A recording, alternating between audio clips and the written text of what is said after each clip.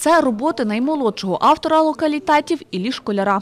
Його батьки – художники, тож і сам Ілля розпочав мистецьку діяльність. П'ять його робіт вперше експонують на широкий загал. Сам автор не зміг прийти на відкриття. Про його роботи розповіла мама, художниця Марина Шавиріна-Школяр. Он любит графику, он график-миниатюрист, можно сказать, потому что работы у него маленькие, выполнены, как правило, в графической манере. Наш э, друг, художник Михаил Николаев, говорит, что он еще и график-юморист, потому что у него э, прекрасное чувство юмора, и вот герои наделены характером, образностью и такими чертами, и часто с какими-то юмористическими там подтекстами.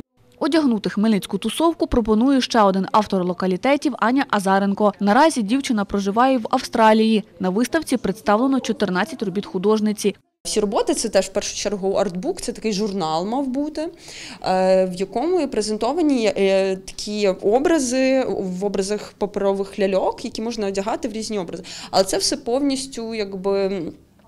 Насправді підкріплена реальними людьми, реальним одягом, реальними образами, реальними історіями. Це дуже така суб'єктивна насправді е, в неї робота. Локалітети – це спроба показати неформальні роботи з елементами сатири, каже кураторка виставки Аніта Немет. Хочеться піднімати різне мистецтво, тому що в принципі сучасних практик і сучасних художників в Хмельницькому було досить багато. Вони є, і вони виїжджають, і нам вдалося якби підключити ще художників, які вже тут не живуть, але займаються доволі успішно, якби сучасним мистецтвом. Експозиція триватиме до 25 лютого у галереї на Проскурівській. Дарина Денисенко, Іван Мовчан. Новини на Першому.